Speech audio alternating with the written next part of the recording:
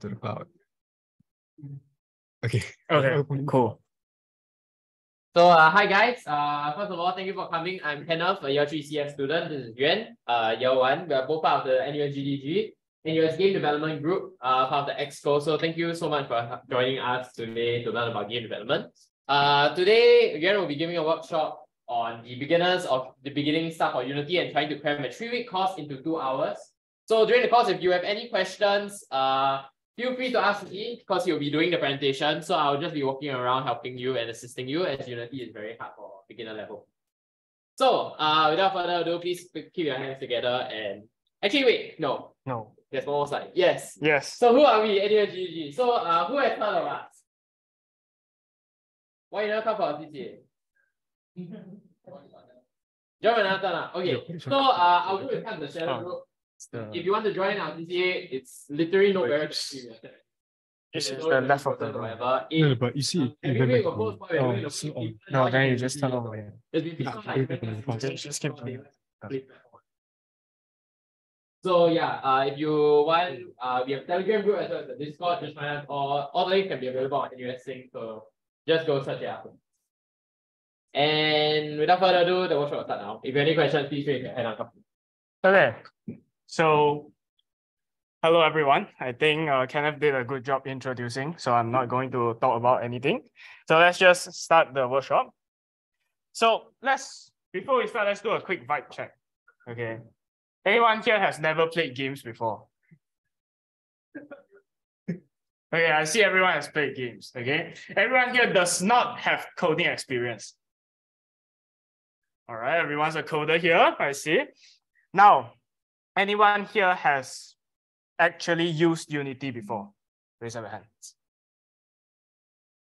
Okay, good. So this workshop is for all of you. Okay, so let's get started.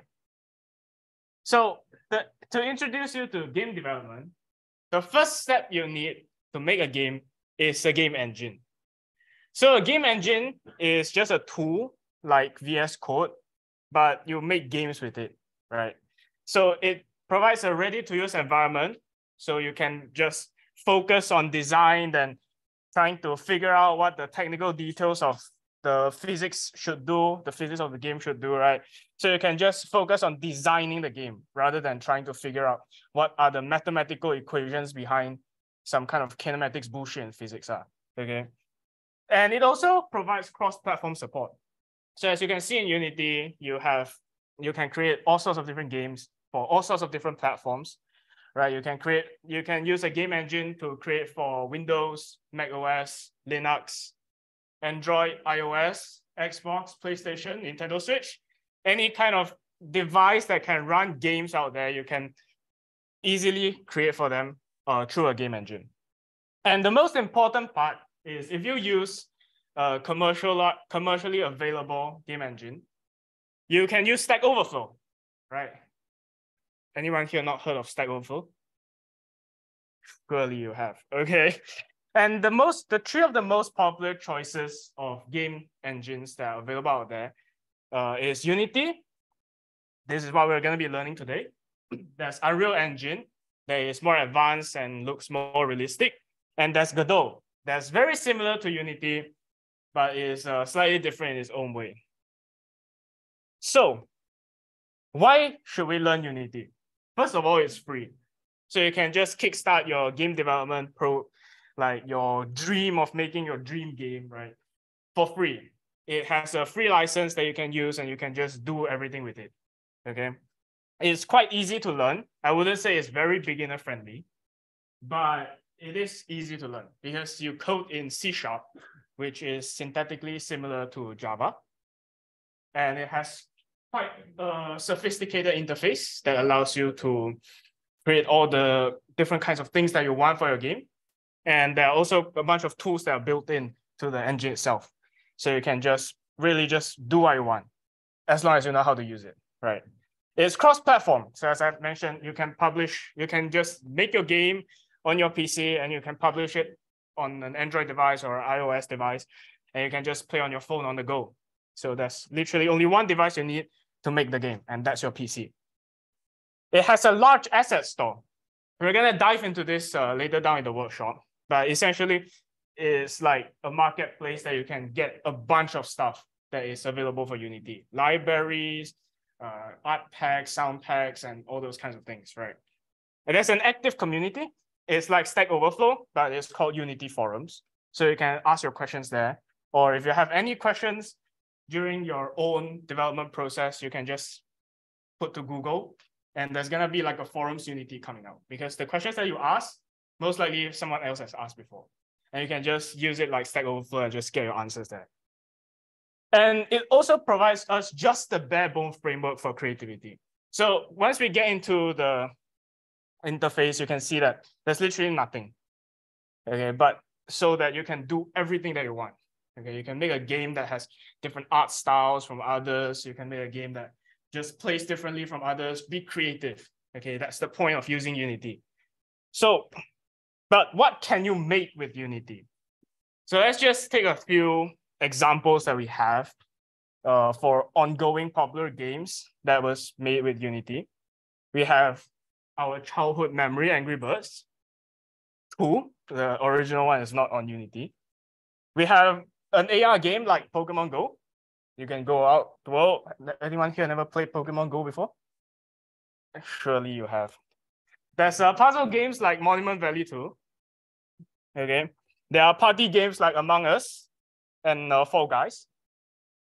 We have survival games like Rust, uh, adventure games like Subnautica,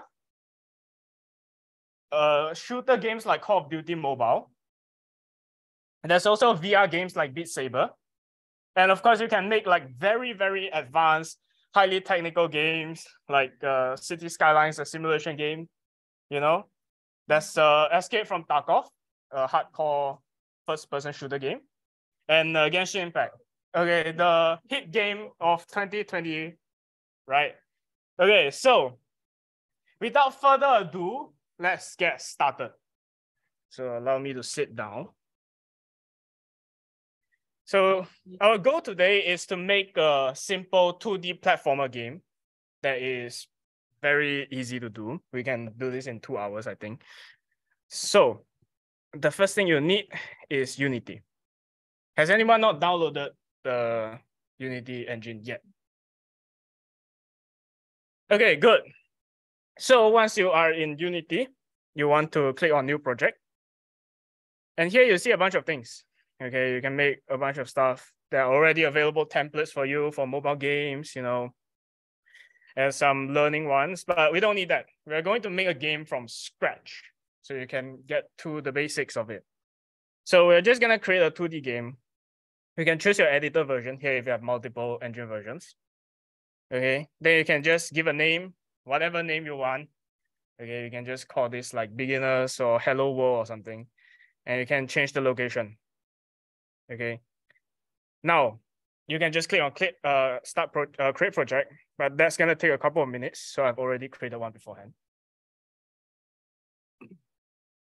So over here we have the very bare bone interface for Unity. So when you're creating the project, that's gonna take a couple of minutes to do. I'm just gonna run through what the UI is and how it is. Okay, so over here, on this left panel here, everyone see my cursor?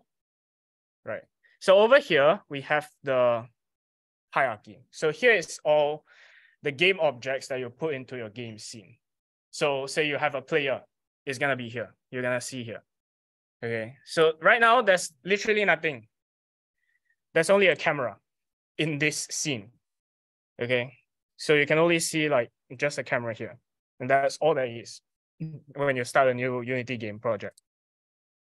So over here, there's the scene editor that you can edit uh, all, all kinds of uh, how you want the scene to look like. Okay, you can edit it there. There's the game screen that you can pull around. Normally I like to put it here. So this one is how the game would look like. So you have a preview and you can also play your in-development game here. We're gonna go through that later.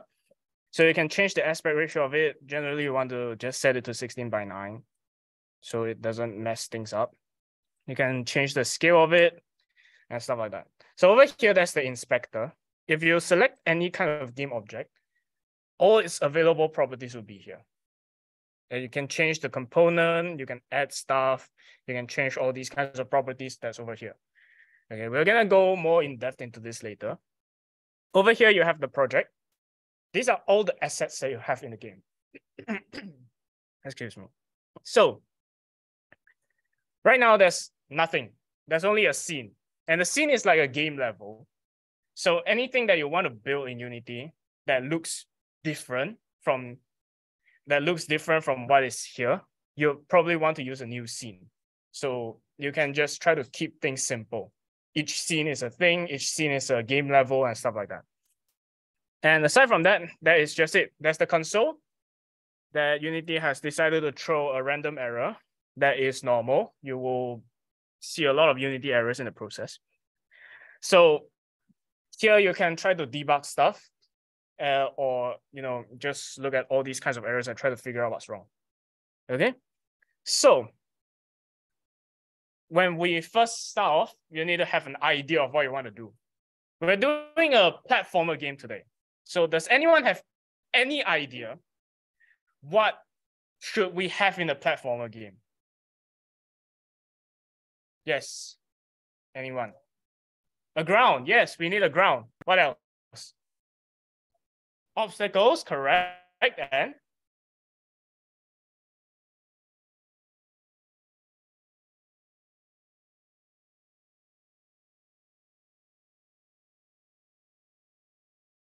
we can start this off by first creating a player.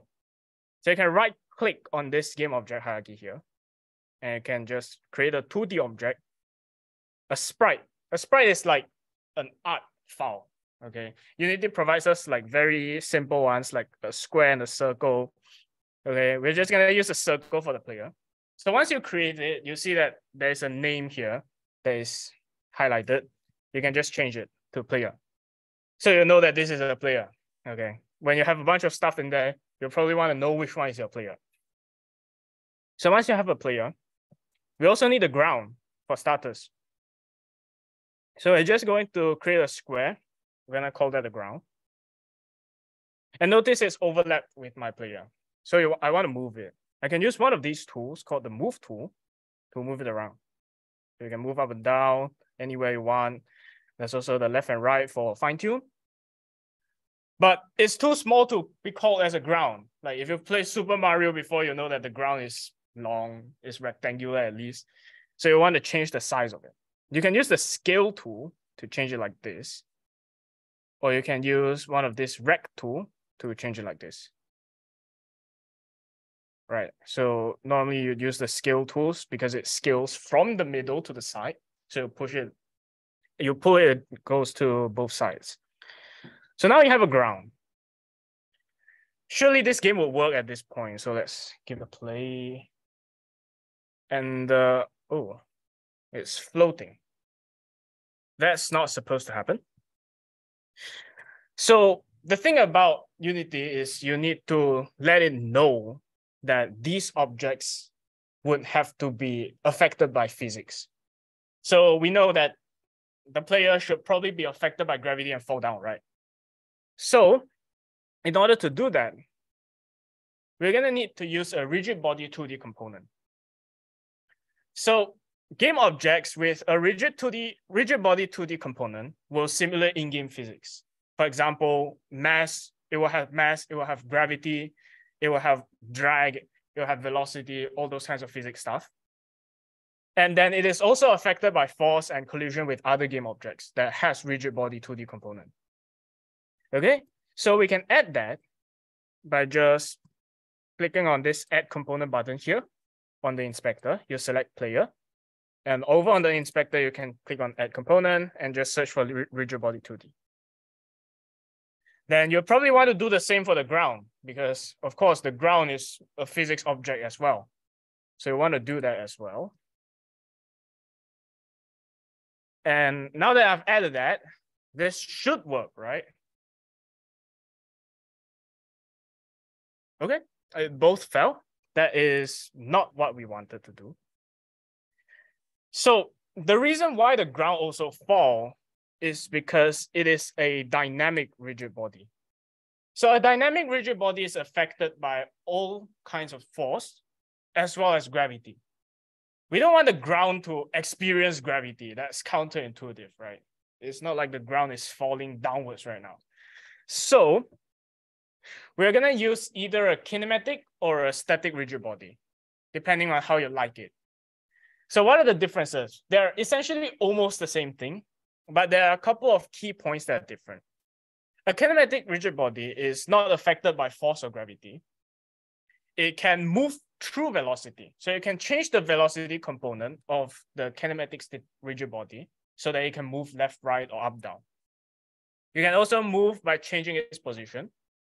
And it has infinite mass because it is not affected by force. So by physics, it has infinite mass. A static rigid body, on the other hand, is not only not affected by force and gravity, it is completely immovable. So you cannot move a static rigid body by giving it velocity or changing its position. It will never move. And it also has infinite mass. For the purpose of this uh, workshop, we're just going to focus on using a static rigid body because it has the less performance cost as well as we don't need to move the ground. Okay, so let's give it a play. Surely this will work now. And yeah, that did not work. So why does it not work? You need a, sorry, why does it not work? Because you need a collider. A collider is essentially a component that allows uh, objects to collide into each other. If you do not give it a collider, the game engine does not know that you want these two objects to collide. So if you have played any kind of games out there and you'll be like, why is this hitbox so annoying? That is collider. So you want to make sure that the engine knows that this object and this object should collide with each other. So how we would do that is just by adding a collider. This is a player, the player is a circle, so we can just add a circle collider 2D. And we don't have to change anything. Unity would automatically adjust it to the size. And for the ground, we can see that this is rectangular. So we can just add a box collider 2D. So at this point, we have a very bare bone game. Okay, the physics works as intended. The player will stay on the ground, the ground doesn't fall, and that's all we need, right? But we're still missing something. What is that thing? Anyone take a guess? What makes this not a game? Controls, yes. So you need to have a way to control the object. So in order to control your player, you need to start writing code, okay? So you need to first for uh, best practice purposes, you want to create a new folder called scripts under the assets folder, the main asset folder. Open that up. Now you can right click and create a C sharp script. So we're just gonna call this C sharp script player movement because all you do, all it does is it's just going to control the movement of the player. Now you can double click on it and it will it should open up your favorite IDE. Okay, it can be VS Code, it can be Vim. Actually, I don't think Vim works here, but uh, my personal favorite for Unity is Visual Studio because it's um, it looks much more professional. Okay, so now that you have it here, what are the key points for us to make an object move? Is there like some kind of properties that we need it to have?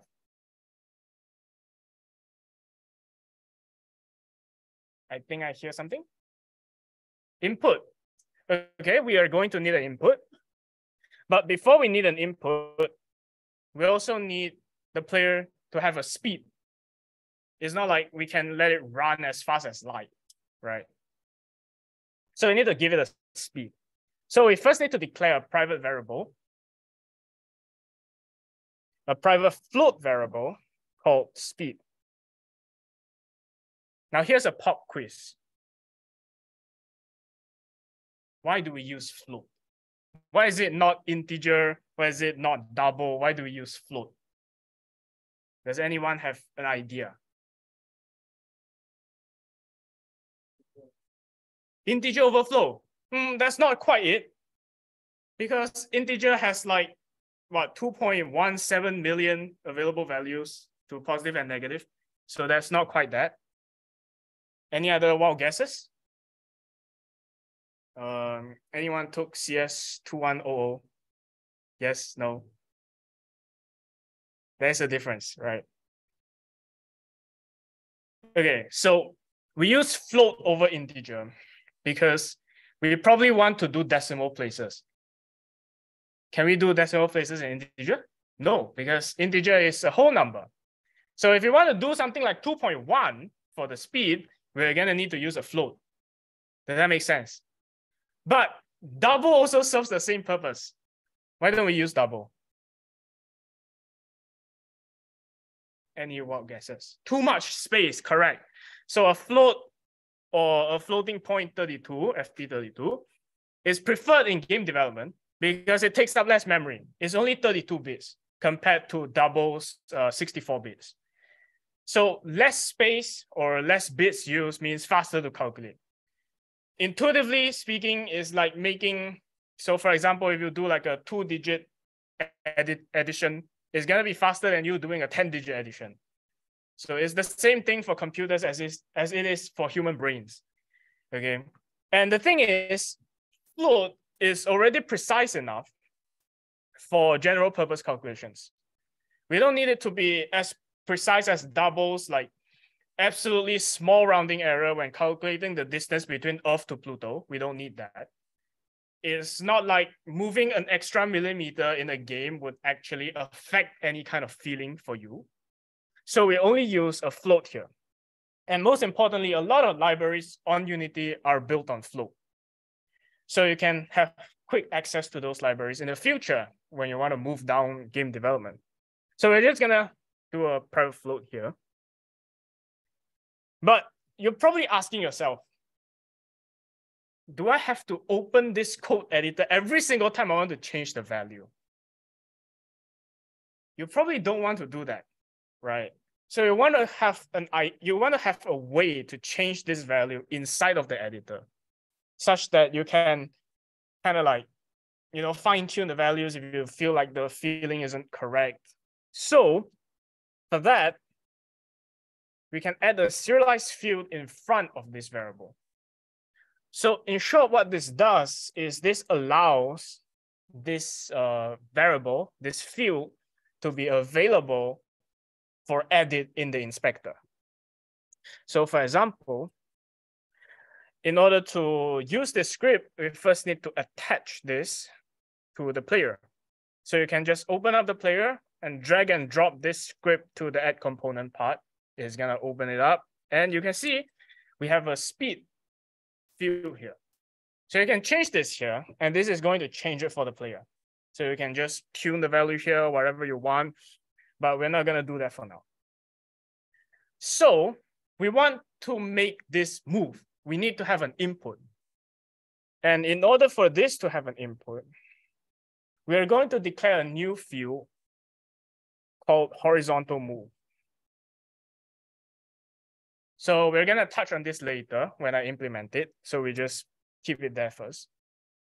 So when we start, uh, as, as well as we need to be able to take the rigid body component because how else are we going to make the player move? We need to change its velocity, right? So in order to change the velocity of the game object, we need to get its rigid body component. So we're just going to declare another field, which is of type rigid body 2D. It's the same thing that you have added there. So essentially, here we have start and update. What do they do? So start is called once before the first frame of for the game object. So when the game object spawns, it's going to call start. And update is going to be called every single frame. Like if the game runs on 60 frames per second, update is going to be called 60 times every second. So that's essentially what's going on. So for start, we first need to instant, we first need to get the component of the rigid body 2D component. This allows us to use this RB variable to refer to the rigid body 2D component of the object that this script is attached to. So this script will be attached to player, and therefore RB would be assigned, uh, sorry, the rigid body 2D component of the player will be assigned to this variable RB. So you can just change that. So we need to have an input. And we can do that for every single frame. So every single frame, we, we need to know if we are going to the left or going to the right, right? So we're just gonna do horizontal move equals input. So input is a class that Unity provides for us, for developers to just take the input of the keyboard, take the input of the mouse. So if you do input or get axis raw, this means that it's going to get the raw axis. So if you take in horizontal, this will take in the value between zero, between negative one to one. So if you go to the left by convention, the value will be negative one. If you go to the right by convention, the value will be positive one. Okay. So how do we know what keys are assigned to it? It's actually in here in Unity. If you click on edit, project settings, you see an input manager here. And if you click on axis, that's the name of the axis, which is horizontal. And we can see that that's the negative button set to left, set to right for the positive, as well as an alternate negative button to A and D. So that's the, I mean, everyone use WASD right now. So that's that. So now that we have that, we, we still need to assign a speed to it. Now we can take in an input, but we still need to make the object move. So what you can do is we just change the velocity component, rb the velocity, and this velocity is a vector two component. So you just need to create a new vector two, which is equals to speed, this speed here, times the horizontal move, which is the direction of the object. So if you click A, is if you press A, it's gonna go to the left. If you press D, it's gonna go to the right. And we're still going to give it a Y component. We're just gonna keep this as the same because we probably don't want this to change the momentum when you're jumping. Okay, we're gonna implement jump later. So now that we have that, let's do a play. And uh, oh, it's not moving. Oh, because I did not give it a speed. So let's just give it some arbitrary value like six. Okay, you can change the value yourself. And now I press A and D. You can see that it's moving. Cool. But something's still missing.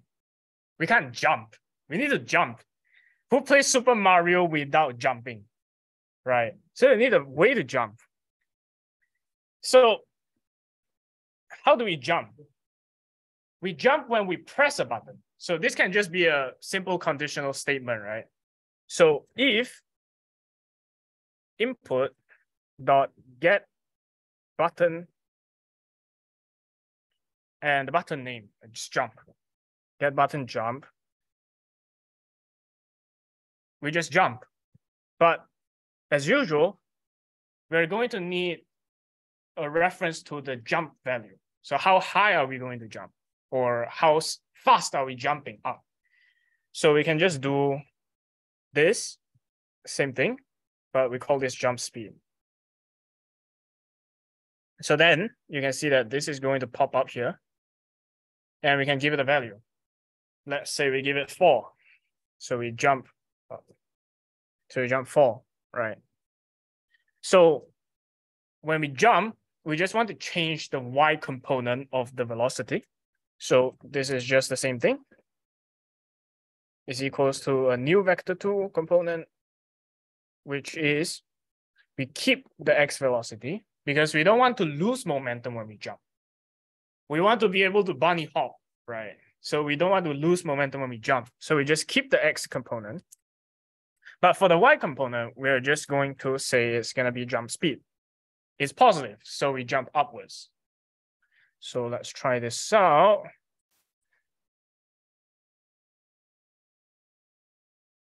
I press space and I jump. And I can move left and right. But that's a problem. When I try to bunny hop, oh, I fly up. How do we solve this? So in order to solve this, we will have to use a built-in Unity tool called a layer mask. So this allows us to separate one object from another. So if you have like this table masked as a table, if I touch it, I know it's a table, right? Unity allows us to create a physics interaction abstraction for objects. So you can use physics, so you can separate things uh, from each other. So we know that the table is a table, the ground is a ground, the sky is the sky, the river is the river. To do that in Unity, you need to use a layer mask. So how do we use that? Well, you just need to click on the ground. We want to separate the ground from whatever else so that we can check that whether or not we're on the ground. If not, Unity doesn't know. Like, what is the ground? What is the ground? I don't know what's a ground. So you need to make Unity know that this is a ground so that we can let the player know that it's on the ground. Does that make sense? Yep. Okay. So over here, when you click on the ground, that's the inspector. There's a layer here that you can change. And we're just gonna add a new layer. Over here, you can add like 31 layers. That's not important. We're just gonna add one. That's called the ground. We're just gonna call it ground. Now you can go back and you can select ground as the layer. So now that you have a layer, Unity will be able to tell that this object is on the ground, but we still need to add a few interfaces to it. So in order to do that, first we need to check if the player is on the ground. So we're just going to do a private new void function called is ground is grounded. Sorry, in C sharp, it should be capital case. So when we are on the ground, this, sorry, this, this Boolean function should return true when we're on the ground. When we are not on the ground, it should return false. And this is how we can check whether or not the player is on the ground. So how do we do that? Well, that the reason why we use a layer mask is because we can just return it. So we can just call the physics 2D interface physics 2D dot overlap circle. So over here, you can take a point, but we don't have a point yet. So in order to have a point, we probably need to know which location, like at which place is the player standing on. Like the player needs to have a feet or something. It has to have a reference point that we know that if this thing touches the ground, we are on the ground. So in order to do that, we're gonna go to the player and we're gonna right click and create an empty. So this empty would be called the ground check. So this is the point on the player where when it touches the ground, it will be on the ground. We know that it's on the ground. So by doing that, you want to select it and you want to move it. So where's the ground? It's over here, right? It has to be down here. So we can move it to this point of the circle such that this point, when this point touches the ground, we know that the player is on the ground. So you can just move it with this move tool over here. You can see that the point where they kind of intersect is where the empty object is. There's nothing there.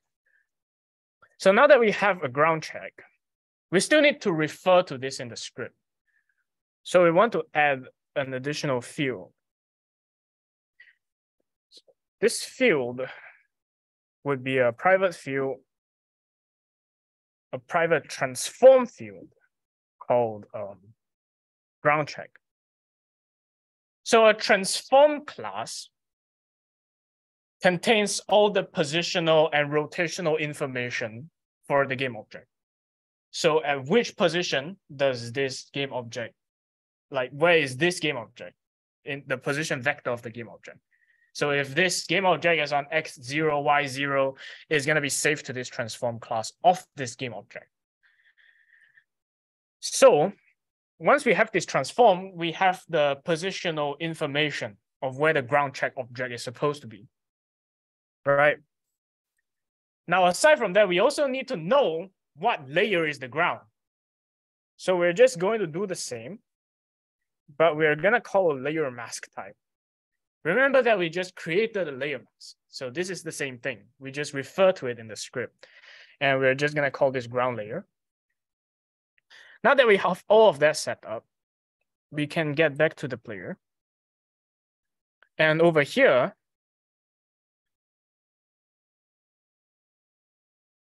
sorry, that's a script error. We're just gonna return true for now. So over here, we can take in a transform, which is the positional data of a game object. So where should this be? This should be ground check, such that we know that it is this point that we want its position to be checked. Is this on the ground? And what is the ground? The ground is the ground layer. So now that we have all of that set up, we can get back here and do what we want to do. So this will return physics 2D overlap circle. It takes in a point. So what is this point supposed to be? So this point would be this uh, ground check. It also needs a radius, like how large would this circle check be? So overlap circle is like very intuitively this point here, right? We have an extra circle outside of it. So it's gonna check if it intersects with the ground layer in this extra outside circle. So how large do we want the circle radius to? We probably don't want it to be too large because else we can be like off the ground, but it's still going to detect us on the ground. But it cannot be zero as well because zero means that it's not intersecting anyways. So we're just gonna give this a very small value. Like, I don't know, 0.04 sounds like a good idea. And you wanna add an F because this is a floating point number. But we're still missing something. We're still missing something. That's the layer mask. So we're just going to take this in. Oh, because this is a transform, we need to say that it's the position of this class. Okay, is everyone following? So essentially what this does is it will check for the position of the ground check position. And if this ground check is within a radius of 0.04 and it touches with the ground layer, this entire thing this entire method returns true. If else, it returns false. So now we have this. We just need to add this to the conditional statement. If the jump button is pressed and we are grounded, we can jump. So now that we get back here, we can jump and we are not flying. You can see that I'm holding down space but I'm not consistently going up, which means this works. But there's a problem. Actually, there's, there's a problem. And the problem is the ball rotates as I go. So if we look at the ground check over in this scene editor, it went here. And as we move, the position changes. So we don't want this to change. We probably do not want this player object to rotate. So what we can do is uh, we just need to go to the player. On rigid body 2D constraints, we can freeze the rotation such that this object never rotates at any given point. So we can click on play again.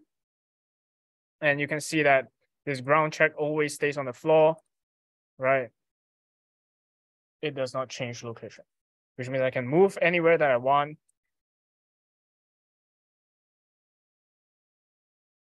And I can jump and I can move. So we're making progress. But at this point, you would be asking yourself, circle looks bland. Why can't I use anything else? Like, give me an actual player. I don't want to just look at a circle all day playing my platform game. That's not fair. Okay. You play Super Mario, there's at least a mascot there. So introducing the Unity Asset Store. I know most of us here is probably not an artist, so you cannot draw to save your save your eyes. But on Unity Asset Store, you can get free or paid assets. You can get art assets, sound effects, BGM, libraries, anything. Okay. And assets that you have bought will sync automatically to your Unity account. So if you spend $10 buying this, you change your PC, doesn't matter. You can just bring that over to your new PC because it's saved to your Unity account. And then you can import any asset that you got with the package manager. So we're gonna go through that very quickly.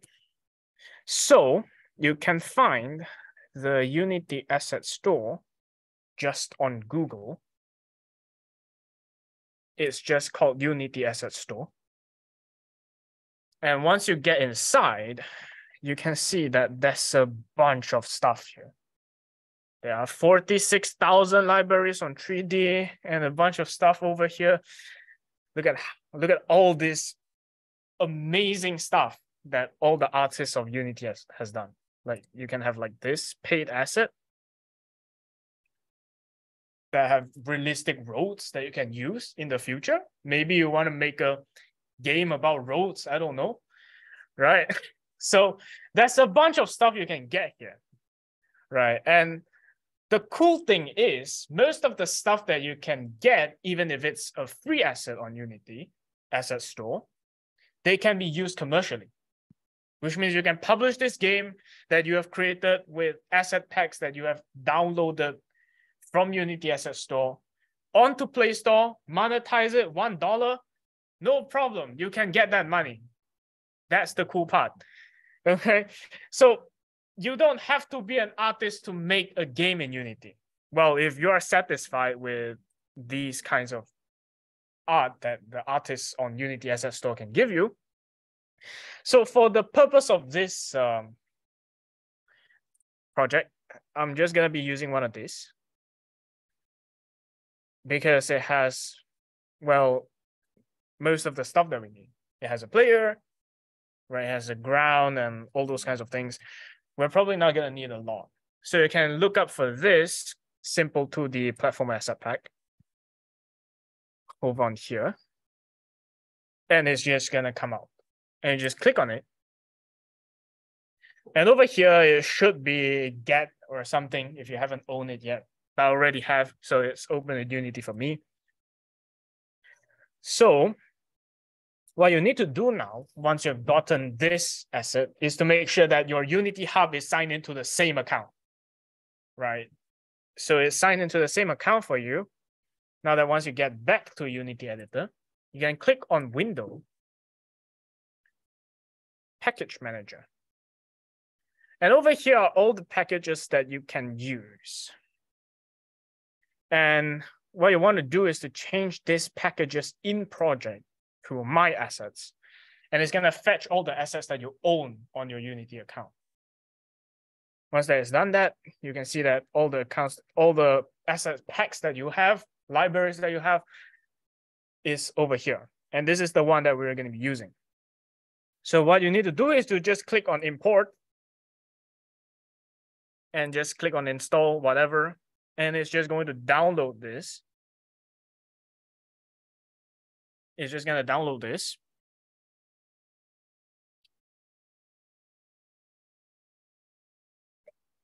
And now this asset pack is free for use. There are all the arts that it has. So over here, everything is in this simple 2D platform or BE2 folder, which is just the name of the asset pack actually.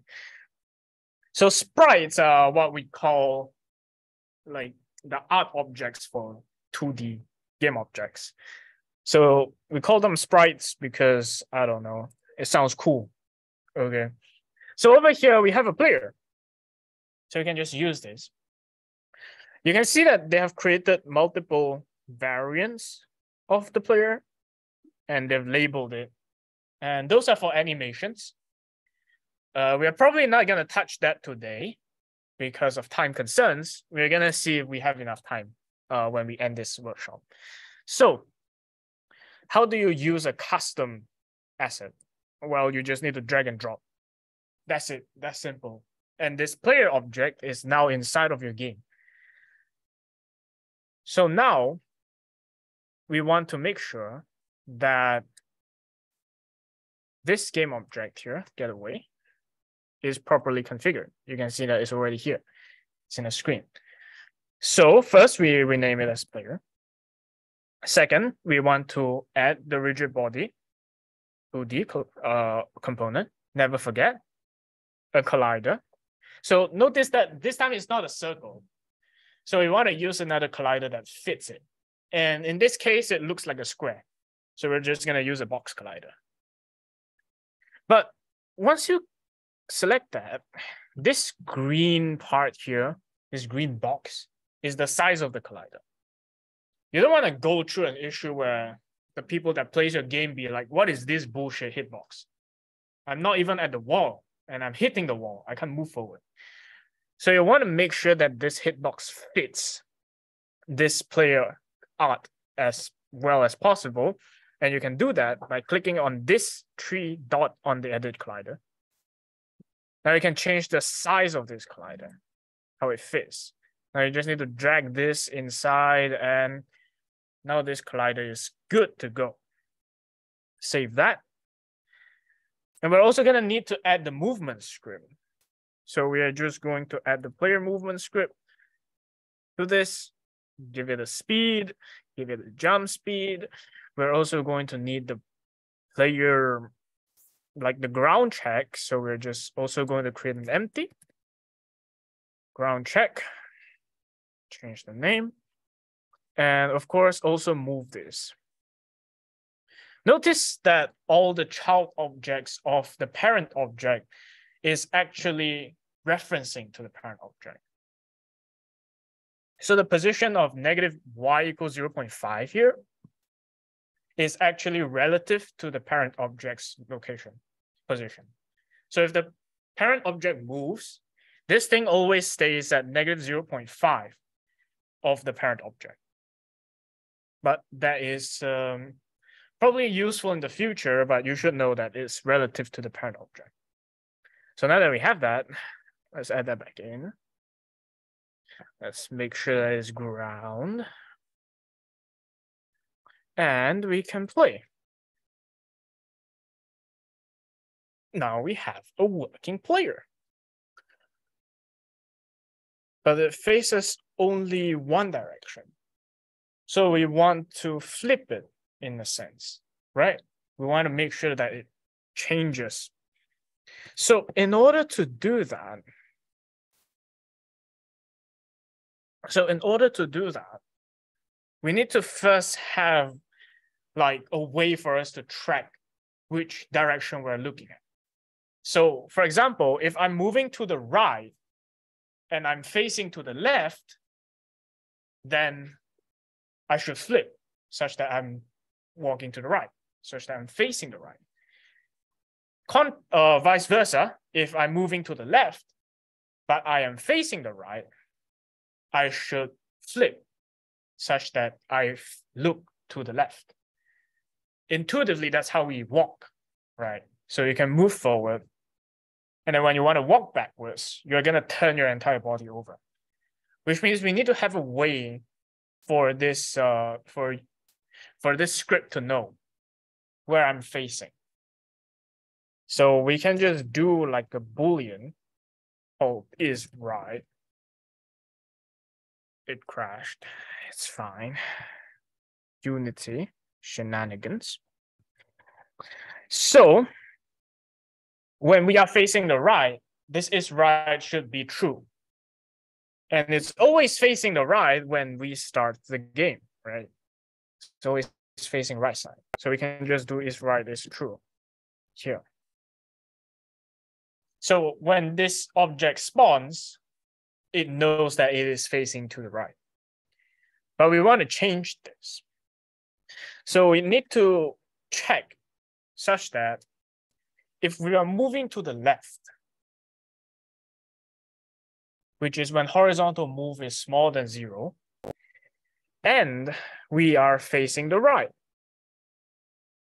We want to flip. So let's just write like uh, something that allows us to flip. So we can do something like um, player uh, transform dot scale, local scale. So this transform, as I mentioned, is the positional data and the rotational data of the game object. So inside of transform, we can check the inspector. They are scale. So if we change this x scale to negative, you see it flips over. So we want to do that through the script, but we do not want it to like elongate. Like it shouldn't look wide, it shouldn't look flat, fat, okay? So the player should look like just a player, how we want it to.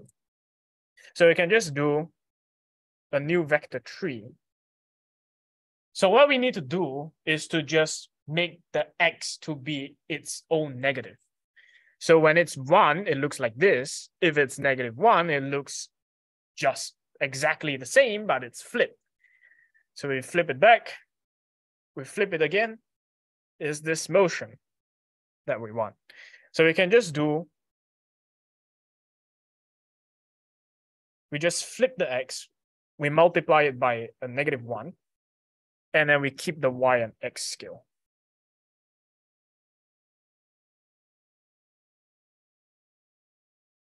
A y and z scale such that it doesn't change its height or it doesn't change its. Uh, the z is kind of useless in 2D, but that's there, so we need to use it. So aside from that,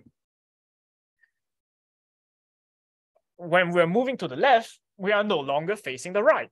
So we should do is right equals false. Please. Okay. What else? We need to do this in the opposite direction. So else if horizontal move is greater than zero and we are not facing right,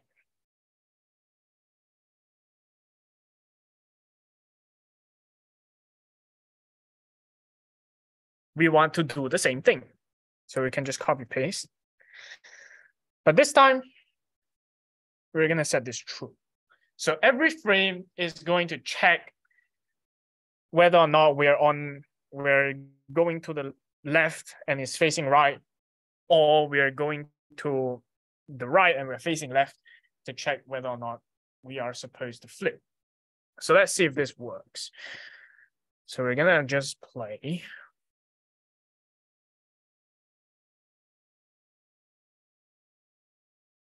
There we have it.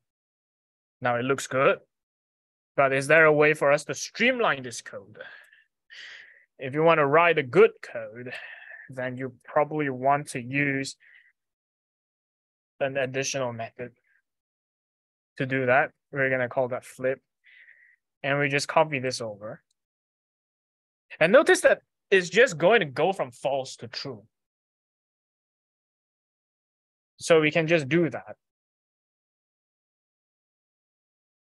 Sorry.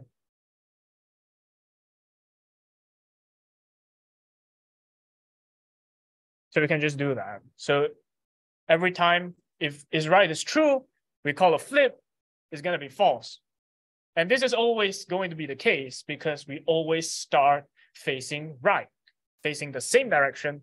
So when we go to the left, it's gonna it's, o- it's only going to call a flip when we go to the left the first time. That is going to be false. Then it's only going to flip when we go to right afterwards. Then is right becomes true again. So the invariant is this is always correct. So is right is always going to be the directional data. Is always going to be the direction that the player is moving in. So we can do that. And we can do that. So now we are like, what? We don't have to look at a bunch of code and update anymore. Now we can click on play and we can see that it still works exactly the way that we want it to. Well, that's good. That's cool. But at this point of time, you have already taken care of the aesthetic of the player, and you're gonna tell me platforms look boring. I'm not gonna look at a white cir- uh, like a white rectangle at this point. I don't want them. I want to have actual Super Mario looking platforms. Right. So what can we do? Introducing Tilemap. So notice that how all of these are like separate PNGs or whatever, separate image files that you drag in is just one unit. Which means if I want to make a huge level, I'm going to drag in tens of thousands of this block. That's too troublesome. I don't want to do that. Can spend like 10 hours doing a level and I'm only halfway there. That is not practical. So Unity provided us with a tool called Tilemap. Essentially, it's like painting in Photoshop or MS Paint, but instead of painting with pixels and single colors, you can paint with these PNG files. So it's like a tool brush. It allows us to create 2D levels faster and more efficiently. And that's how we want to do it. We want to focus on design. We don't want to spend 20 hours making a level because we are dragging and dropping 10,000 PNG files into the game scene. That is not what we want to do. So what we can do is first, we want to open up a window 2D tile palette. So what is a tile palette? The tile palette is essentially a color scheme. It's like the RGB value in Photoshop, right? Or in MS Paint, you tell it what color you're gonna use. You're gonna need a color palette. But here, since we're painting with tiles, we're gonna need a tile palette. So we're just gonna drag in, we're just going to first create a new folder. We're gonna call it, I don't know, sprites, because this is where all the arts are. And we can just create a 2D tile palette, rectangular tile palette. We're gonna call this ground. Now that we have that, we can get back to where we got the asset pack and just drag and drop this entire thing over. And it's going to do this. It doesn't matter. We just save it. Save it to the sprites folder. Now, when you go to the sprite folder, you can see that we have a tile palette. So we can now select it, but we still can't paint. And that's because we have not given it a tile to paint. So it's like if you're trying to draw something digitally, you're gonna you're going to need a canvas. But you don't have a canvas. So you need to create a canvas. You just go to here, create a 2D object, a tile map, and a rectangular tile map. We're just gonna call this ground. Now notice when I select one of these blocks, I can hover over the scene editor and I can just directly paint it on. And that's that, which means I can do something like this. Cool. So I don't have to spend 20 hours drag and dropping all of these singular images. I can just paint them on. How cool is that? So this is how you can create 2D levels as efficiently as possible. You just need a tile palette, a tile map, just paint it on.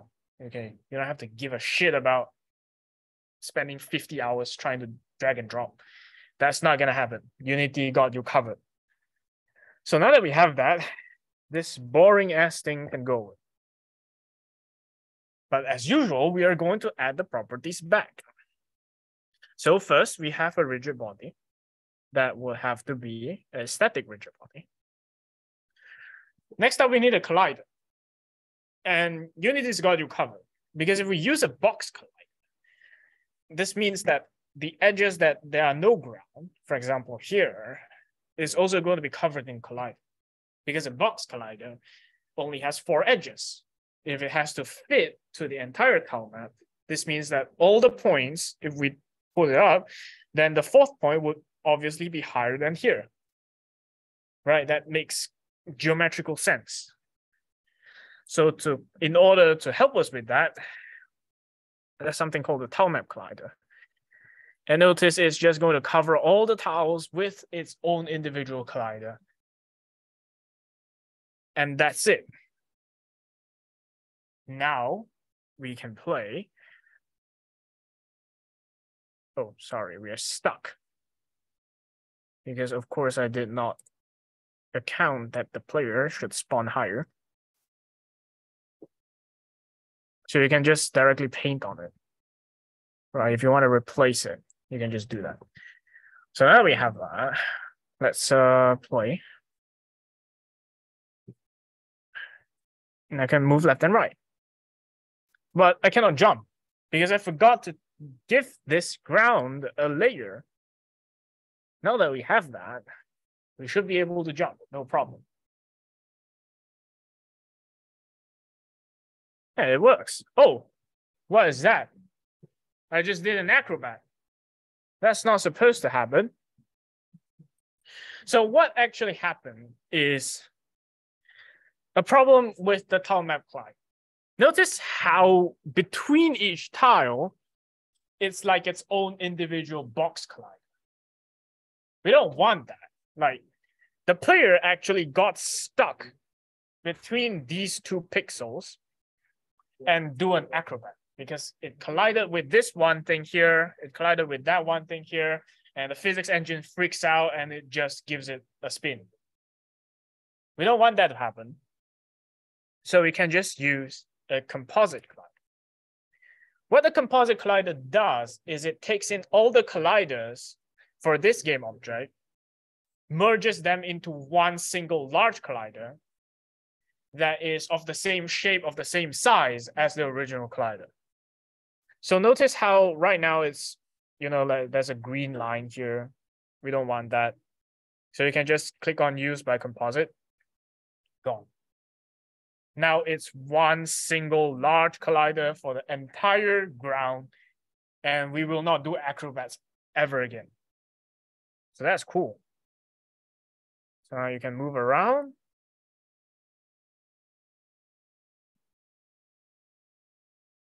Notice we don't flip over anymore.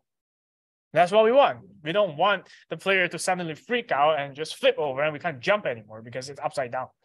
It's not on the ground. So that's not what we wanted. So now that we have all of that covered, how do we finish the game? So before we head on to that point, I think we are supposed to get a small refreshment. Refreshment. Is it here? That is supposed to be.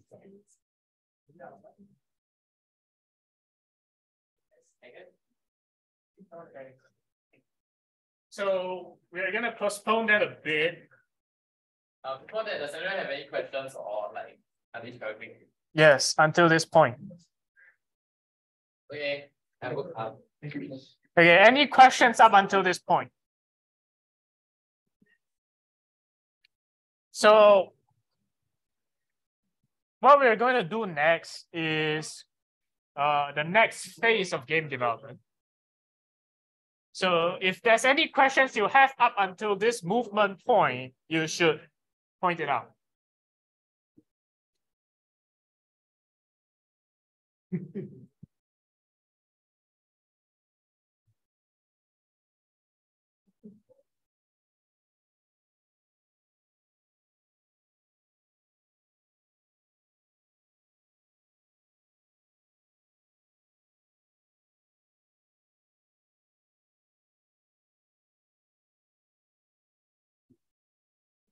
I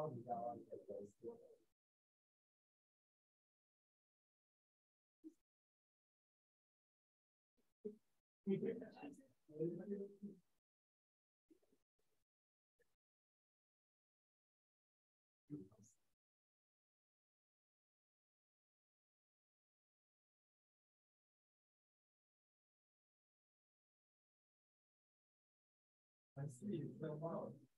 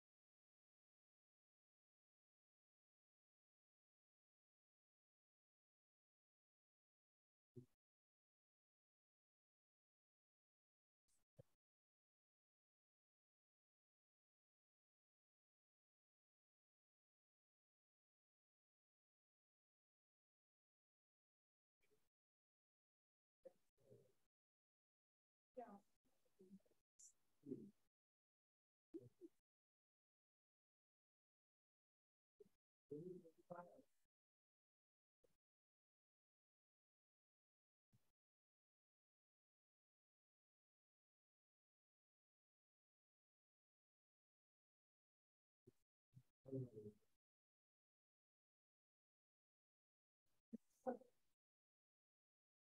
嗯，啊，嗯。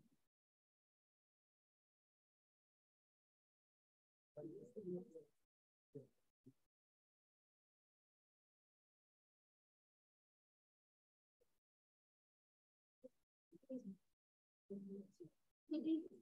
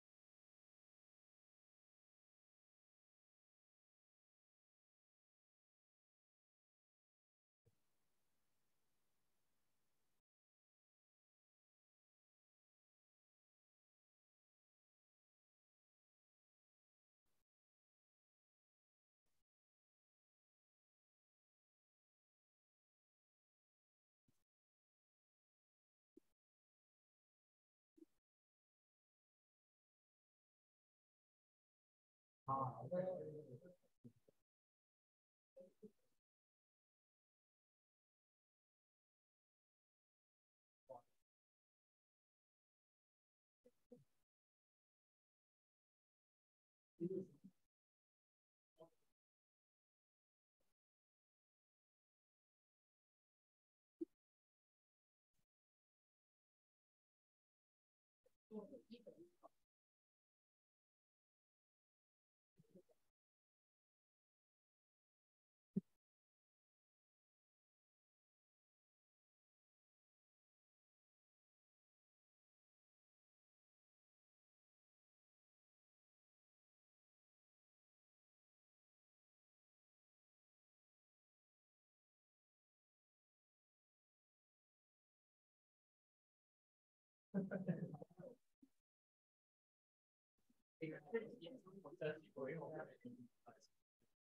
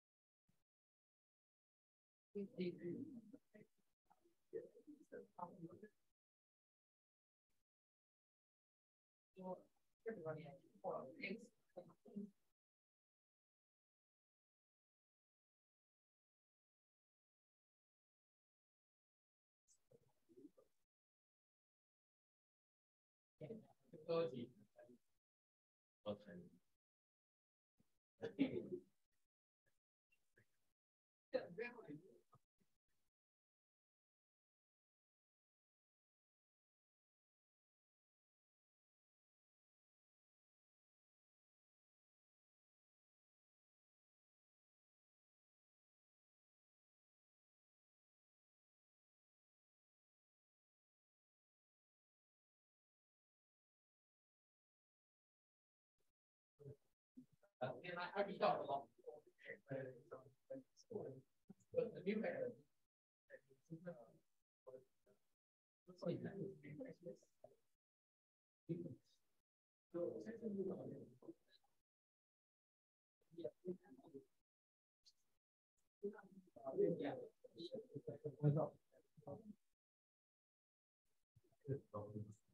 嗯嗯嗯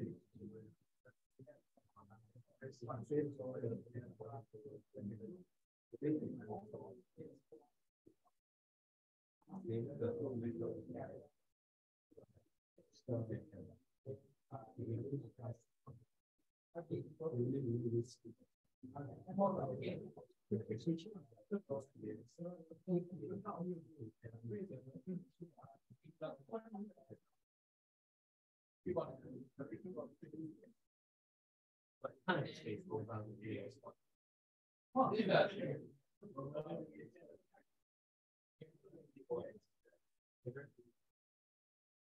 So I'll see.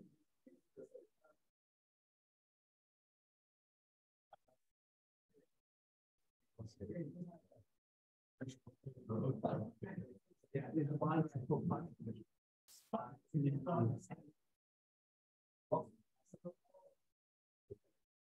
Yeah.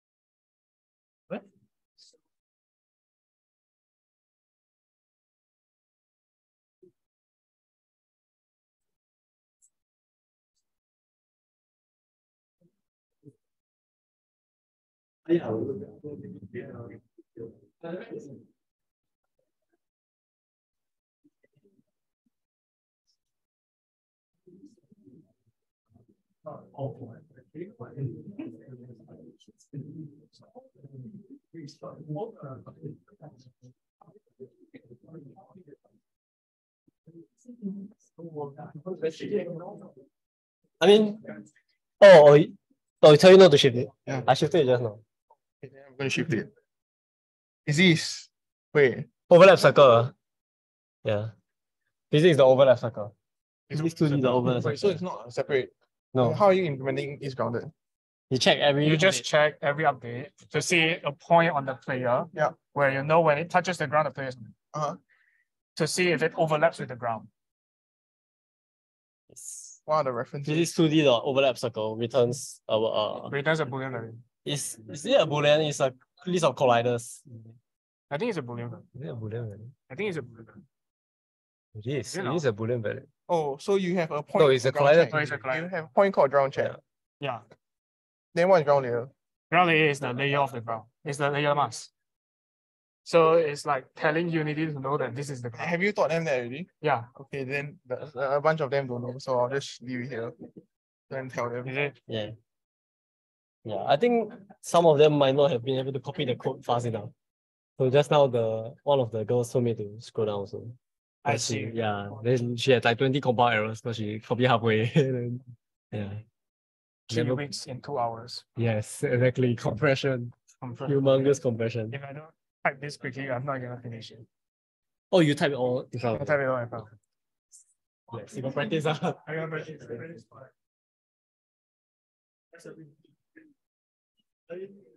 Overall, just now I heard the presentation, the voice progression.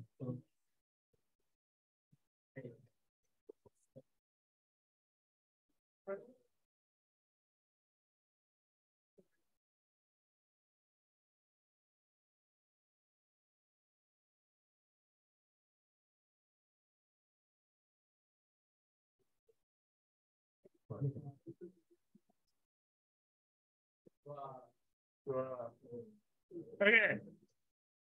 So we took like a 15 minutes break.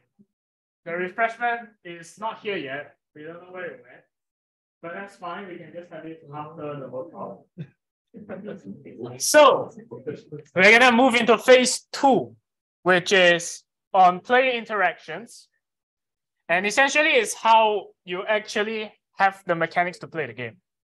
So like we mentioned, in a platformer, you probably want to have obstacles. To end the game, you probably want a finish line. And to motivate the player to actually play the game, you probably need like a reward system. So something you can collect on the way. Like in Super Mario, you have things like star, points. You want to have those kinds of reward system. So this is where the, uh, the next part of the game development process comes how do we finish the game? We're gonna use something called tags.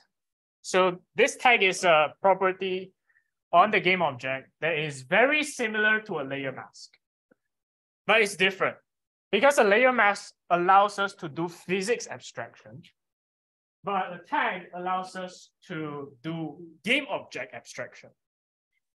So it separates only the game object from each other, and we can filter a game object for required op- operations.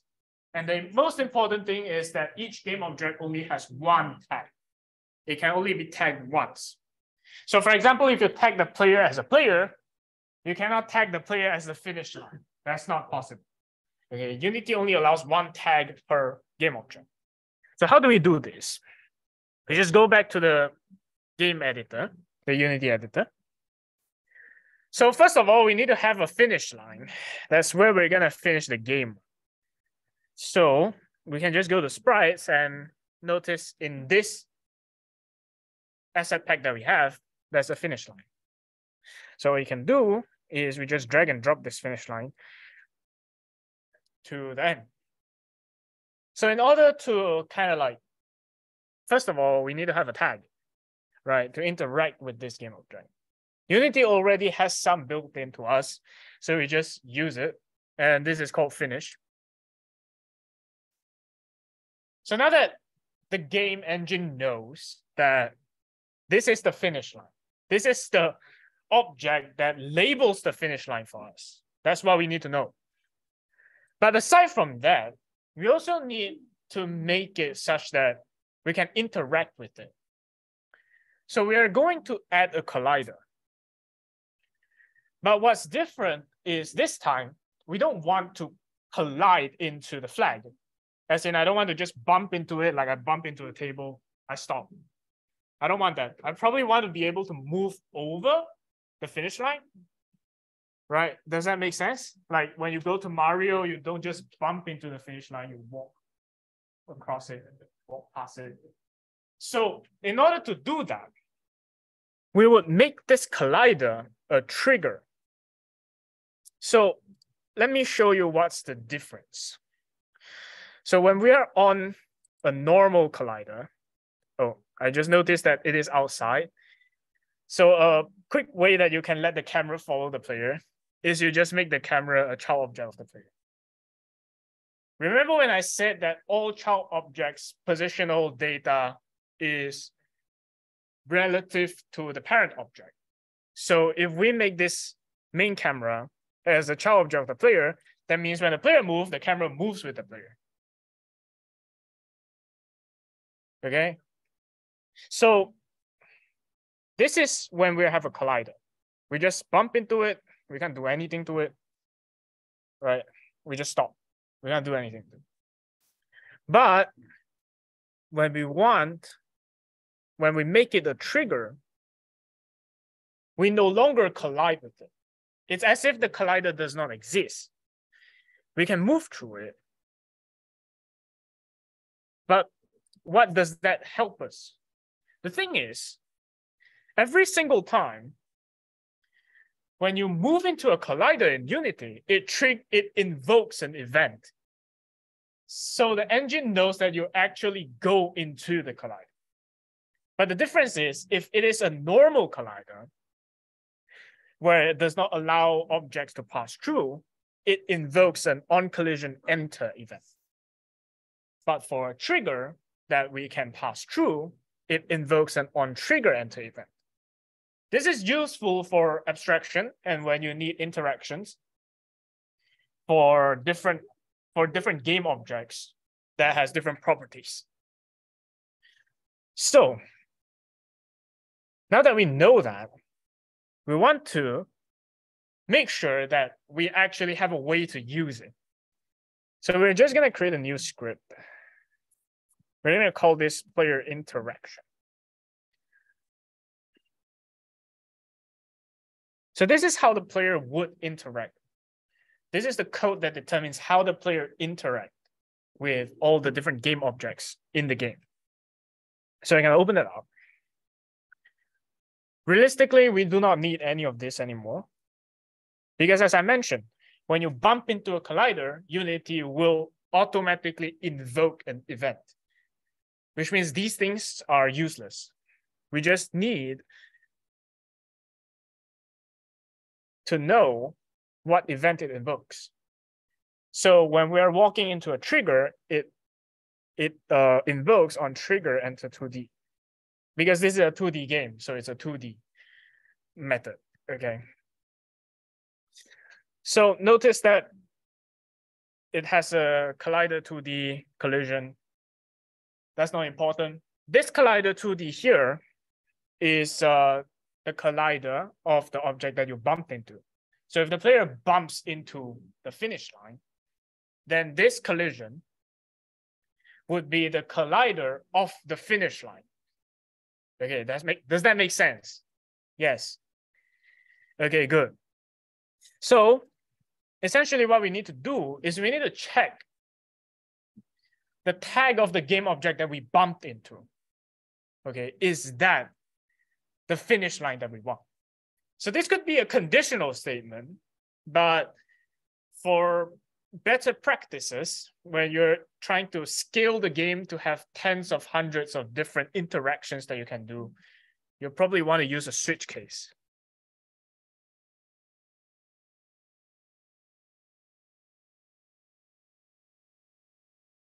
So collision.tag. The tag is the tag of the game object. So if we bump into the finish line, it's going to get the tag of the finish line, which is finish. So essentially what we need to do is to just case finish, which means if the case, if the tag is finish, we just need to finish the game. But we don't know how to finish the game yet. So we just need to make sure that this interaction work. For now, we can just use debug.log, which is going to print something onto the console to know that this is working. So what can we do? We can just debug the log, something like game finished uh, or level cleared. And we need to break out of this statement, have a default that breaks. That's it. So now that we have this conditional statement, we can go back to this uh, editor, go to player, and we just need to add this script to it. Now, when we play the game,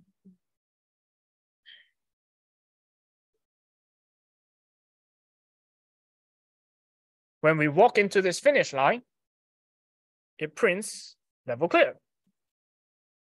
And it will print every single time I walk into it. Cool. So we know that this works. Right. But we actually need to finish the game though. So we probably want to go to a new level, right? So in order to do that, we're going to use something called the scene manager.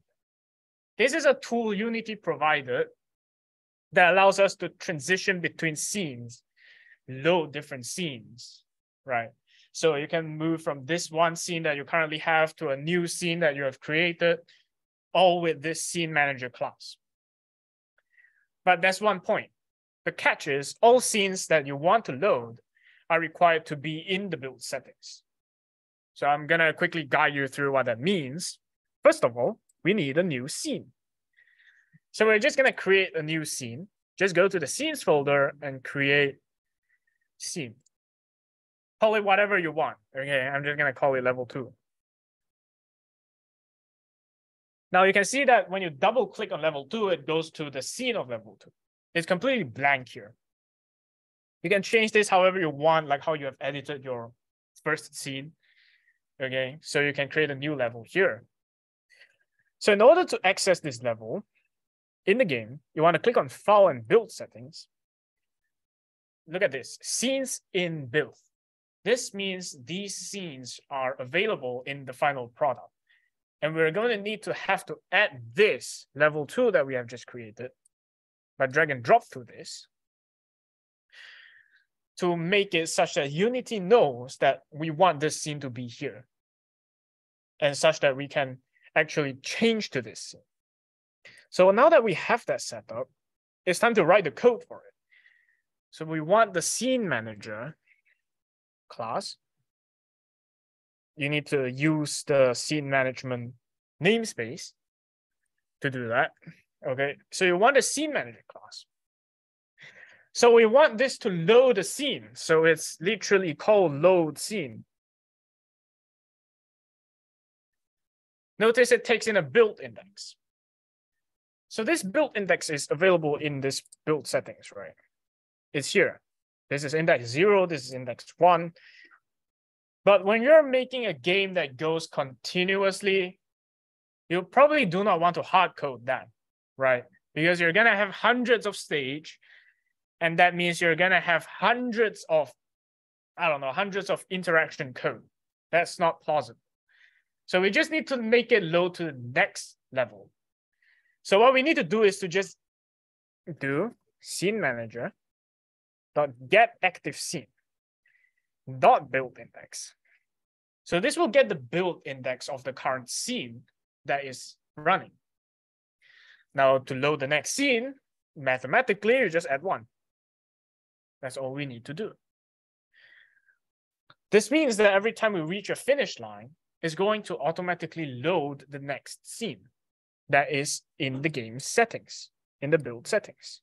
So let's see if that works. Let's go back to sample scene by double clicking on it. We went to level two. You can see that it is level two now. There's nothing here because I added nothing. But that's progress. That means we have a way to either end the game or we have a way to actually like proceed to the next level when you're trying to build more. So that's cool. Now that we have a way to finish a game, we're still lacking some things. We don't have obstacles, right? We don't have a reward system. So we want to add those in. And that's simple because all you have to do is to do about the same thing. Is to get to sprite, find what you want as obstacle. This one has a spike, so I'm just gonna use this spike as an obstacle. There's drag and drop into the game scene. This time, we just need to change the tag. We don't want, so we want every single time you want to have game object interactions, the first thing you have to come to mind is, I probably need a new tag so that we have a unique interaction for this game object. So we can just add a new tag. Well, Unity has a built-in one. It's called respawn. That's exactly what we want to do. When we step on the spike, we want to respawn. So we can just do that and add that case to our interaction. So when we respawn, what do we want to do? When we respawn, the first thing we want to do is, of course, we want to reload the scene. So it's as if the scene restarted. So for example, if you die in like the Chrome, the Chrome Dino game, right? Just start from the beginning. Everything resets. You know, that kind of feeling. So what you need to do is to just reload the active scene. So it's just going to restart everything from scratch.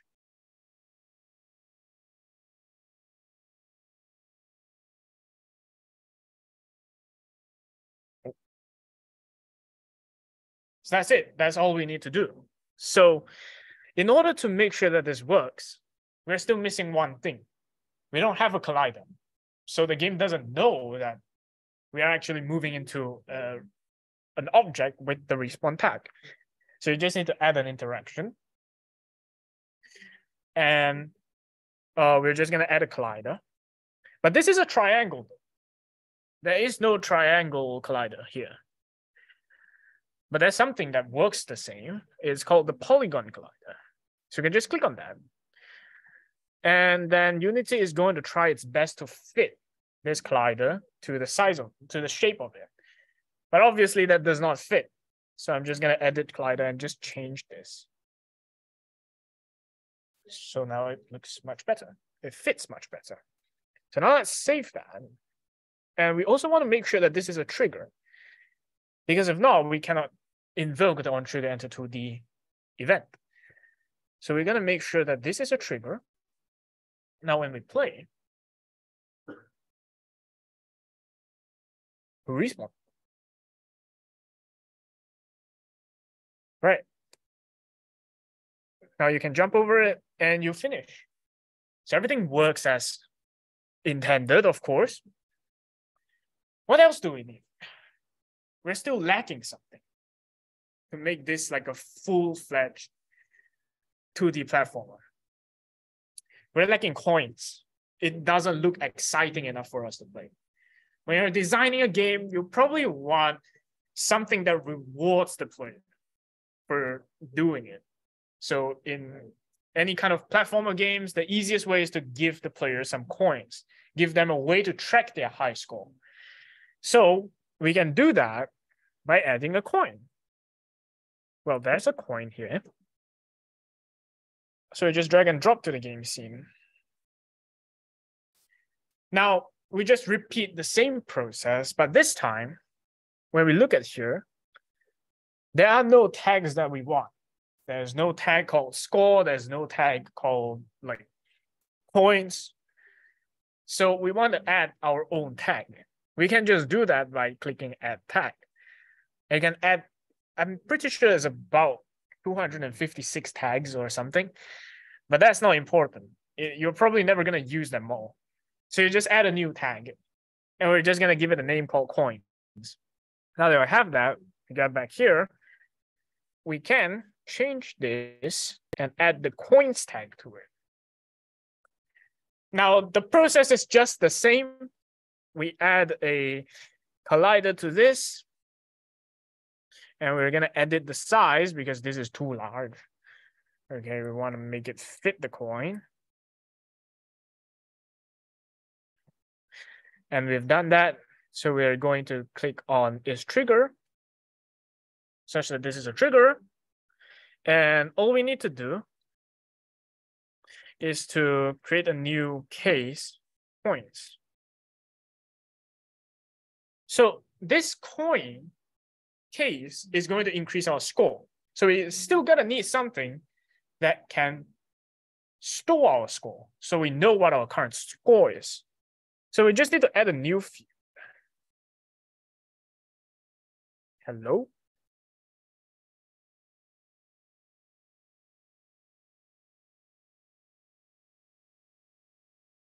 Oh, sorry. It's not supposed to be there. So we're just gonna add a new integer, private int, because the score is not gonna be like a float value. We don't need decimal points. It's just whole number, it's zero, one, two, three, right? So we can just use an integer and we're gonna call it, what are we gonna call it? Uh, we're just gonna call it score. And we're gonna initialize it as zero because you start with zero score, of course. So when we get the coin, we want to increase the score. And we probably also want to know if this works. So we're just going to debug the log. We're just going to print our current score out. So we can just some, say something like coins collected. Current score is, and concatenate the score into it. So this should print our current score. Let's see if this works.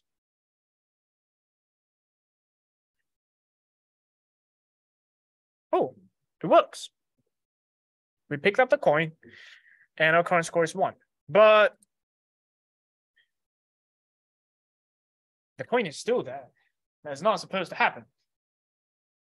You're supposed, the coin's supposed to just disappear after I pick it up, right? Like, but why is this happening? So the way we can fix this is by destroying the coin after we pick it up. So this works because once you destroy it from the game scene, it does not exist anymore.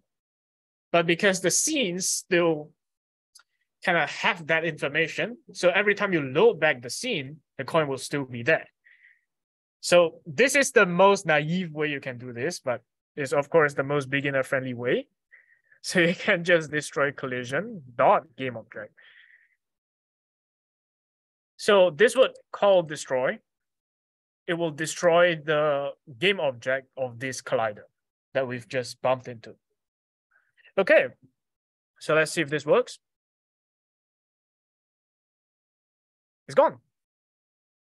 And notice that every single time we respawn or we restart the stage, this coin comes back. So there's no implications to what we want to do. Uh, there's, there are no implications on what we want to do. Of course, if you want to have your own idea that the coin stays, you know, maybe you don't want to reload the scene at all. But that is, of course, up to your own imagination. So for the purpose of this workshop, we're just going to do this. But at this point, you're asking yourself, one coin is not enough, right? You'll probably need hundreds of coins. Does that mean I have to drag each coin once and then add a tag, add a collider, you know, and then change the size of the collider? That is troublesome work, but Unity's got you covered. You don't need to do that. So, introducing prefab. So prefab allows us to reuse game objects that has the same property. So if you create a prefab of a coin, that means that you can just reuse the coin that already has all of its properties and all of its components correctly configured. So it will have all the tags, it will have all the collider size, the collider is a trigger and all those kinds of things. This helps with your game development process because you don't have to do all those kinds of mundane things hundreds of times over. And the cool thing about this is any game object can be made into a prefab. And any changes to the prefab object changes all game objects used. So which means all of the instances of the prefab object in the game scene across all the scenes if you change something in the prefab, all of those are going to get changed. And let's let's demonstrate that. So for best practices, you just need to create a new folder. We're going to call that prefab. Get into this folder, just drag and drop the coins to it, and that's it. That is a prefab. Notice how now that this is kind of blue, this means that this is a prefab object. So now you can drag and drop this coin object, this prefab, and it's already correctly configured. It has the tag coins, and then it has a collider that is fitting to its size, and we also have it being a trigger. That's good. So essentially, when you change this prefab you can double click on it to get its properties. When you change this prefab, anything that is different from this position and this rotational data will all get applied to all of the prefab instances in the game. So for example, if I turn off this to make it not a trigger, when we get that here, we can select them. And these are all not a trigger anymore which means you can kind of like change everything at once. For example, if you suddenly feel like the coin needs to have something else, you can just change the prefab and every single coin gets changed. You don't have to go through all the 500 instances that you have on the coins to make all of these changes. Not required. You just change the prefab. So let's change that back. Notice how these are all back to being a trigger. That's cool. So as I said, you can make every single object a prefab. So you can just drag and drop your finish, your spike, your player, and you can reuse them across all scenes that you have in this project. So you can just put more spikes. Maybe you want more spikes. Put more players, but that's no point. Okay, put more finish lines. Use finish lines in the different game scene. That's all that you can do. So that is cool and all, right? So you can just add more coins, you know, like as many as you want, and all of them would have the same properties as the first coin that you have created as the prefab.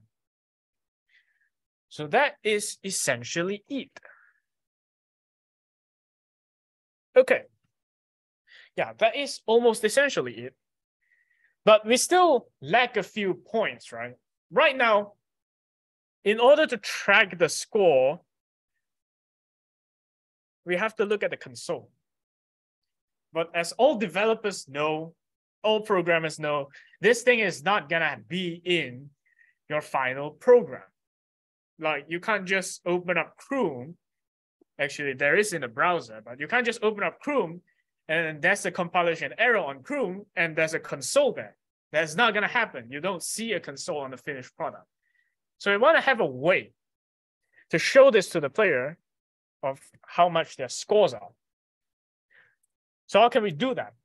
We're gonna use a user interface, a UI. So you can just right click here, go to UI. We're just gonna use a legacy text because that's all we're gonna need. And we're gonna call this score.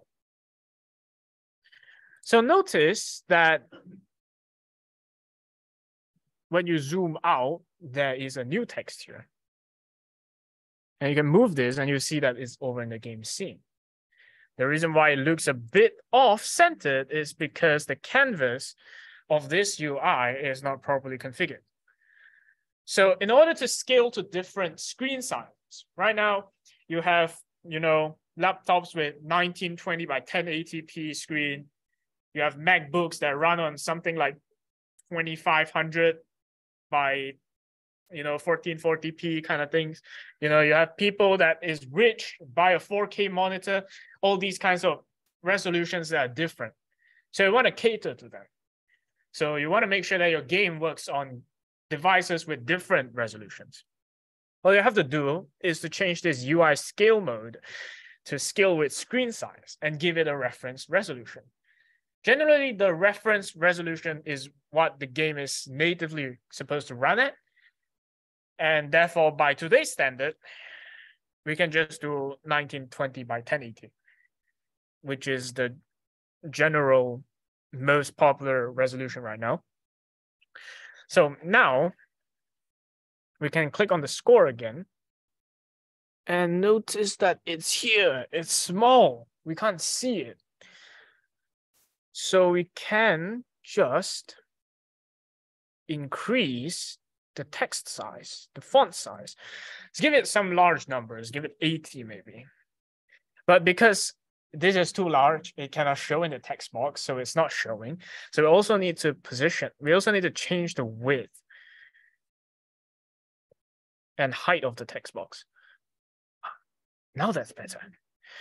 So we can also change it in this tool mode here. And we can move it around make sure that it's on the top right corner of the screen. And we can then, you know, change its change its uh, text. So now that we have a tracker, how do we change it dynamically?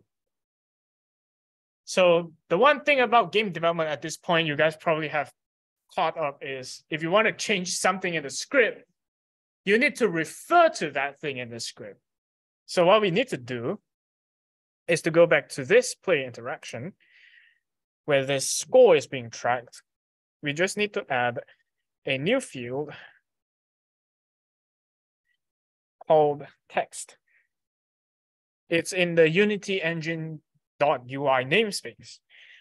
So private text, we're going to call this score text. And essentially, when we get here, we want to change the score text to the current score. So we can do score text dot text equals score and concatenate score to it. That's it. So every single time we take a new coin, this thing triggers, our score increases, and our score text dot text, which is the text of the score text component, increases. It changes to what the current score is. So let's get back here and let's go to player.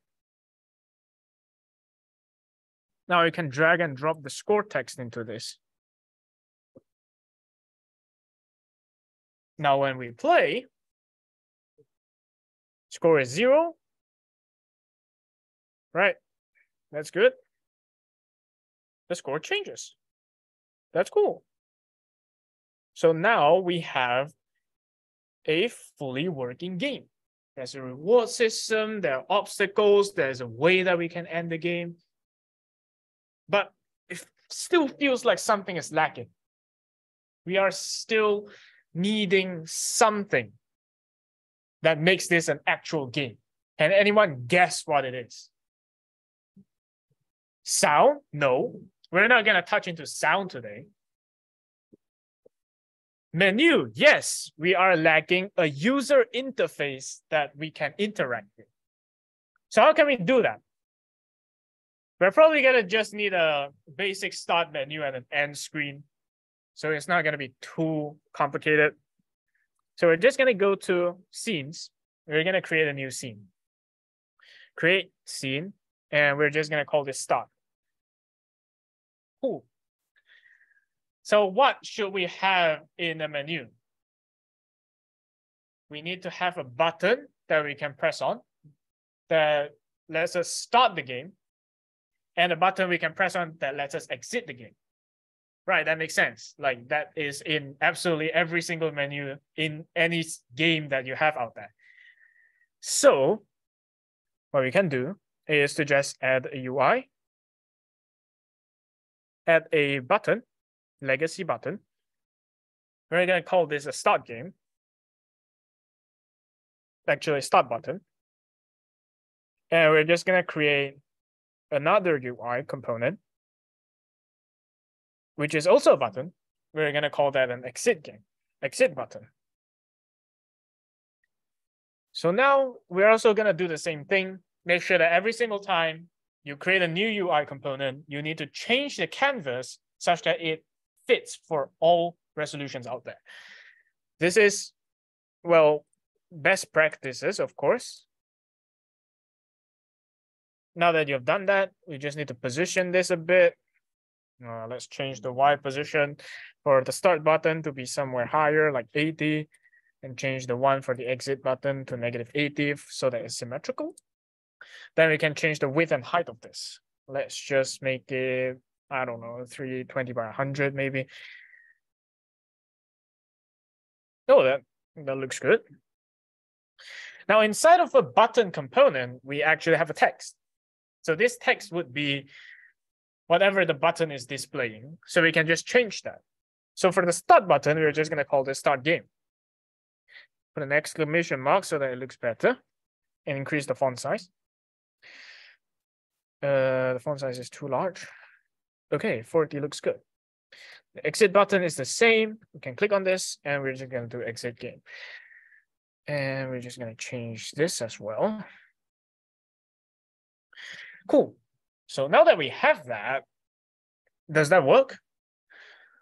Well, at this point, you should know that, of course, it doesn't work because we don't have a way for the engine to know that we need this to do something. So we're going to add a script. But um, we know that scripts are supposed to be attached to a game object. So what we're going to do is we're going to make an empty object here. We're going to call this the start manager. So this object will contain the script that contains the information on what we should do when these buttons are being clicked. So now that we have this game object, we're going to go to script and create a new script called start manager.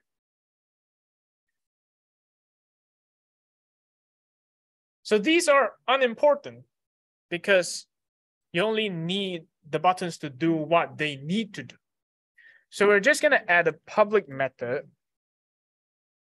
So a public void method, we're gonna call this start game.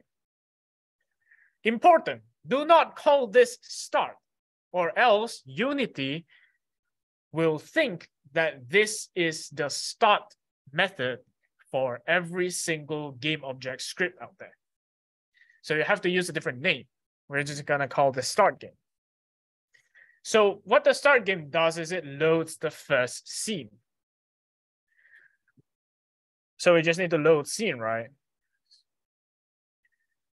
And because we only load the same scene for start game, which is, you know, the first level of the game. So all we need to do is to just scene manager.load scene give that a build ID, which is the first scene. That's cool. Now the next thing we need to do is, of course, have an exit game method. So when we click on the exit game button, it will close the game. All you have to do is to do call application.quit. So this is what Unity gives us that allows us to just leave the game. So you click on it, it calls application.quit, then the game quits itself. So you just get back to the home screen. That's cool. But in the preview mode, we cannot do that. So for testing purposes, again, we're gonna print something.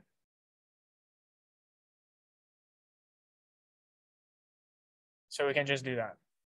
Cool. Now that we have that, let's get back here. And we are going to drag this in to the start manager. Now this has a script. Now for the buttons, we also have to refer to the start manager. So this on-click method will be invoked when we click on the button. Like intuitively, that's what it's supposed to do. So I want to add a new action to it. So every single time we click on it, it's going to call start manager, the script of the start manager to run the start game method.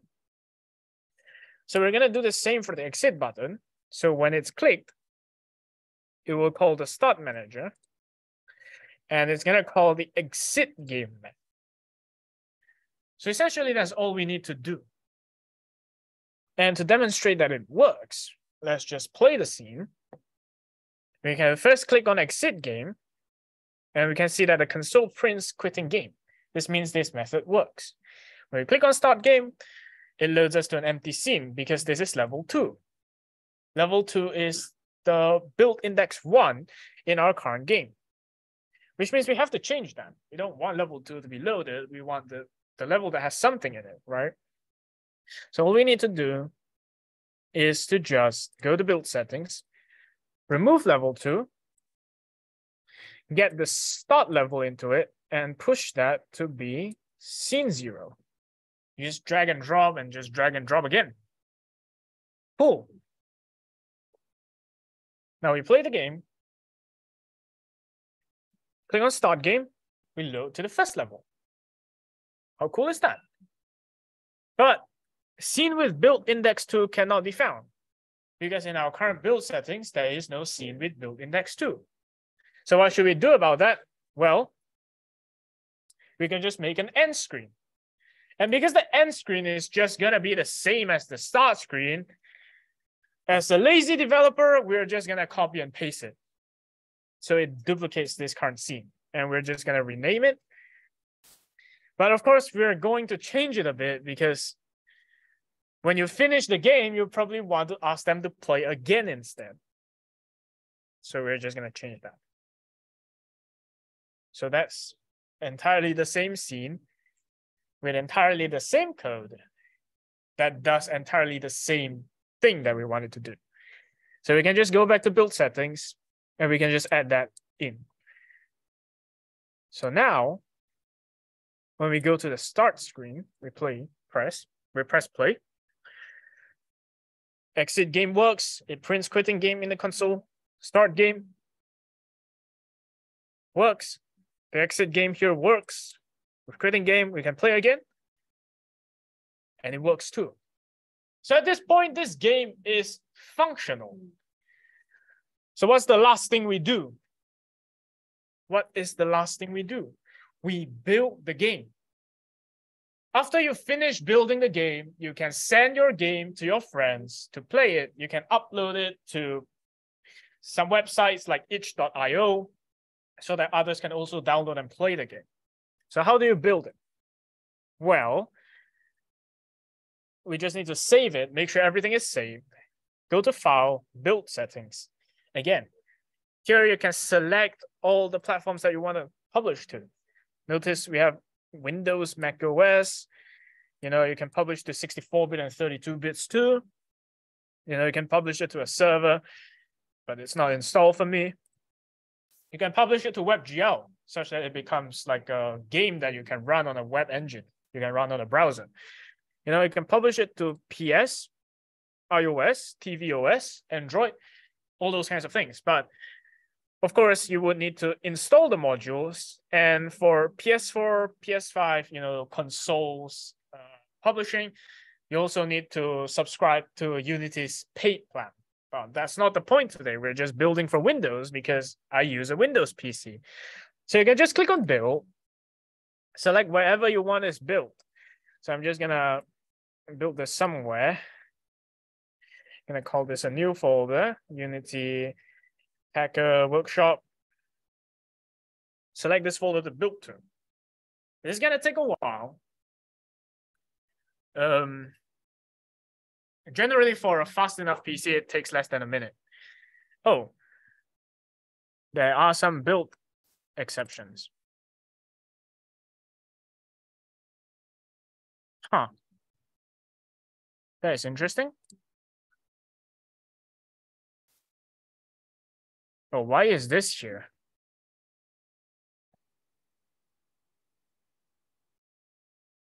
Okay, that is um unexpected. So we're just gonna publish it again.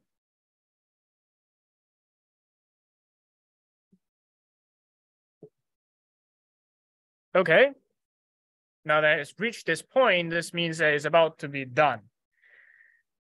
So let's just wait for it for a while. And uh, yeah, it's built. Look, look at it, it's succeeded. So now we can get to here and notice there are a couple of files.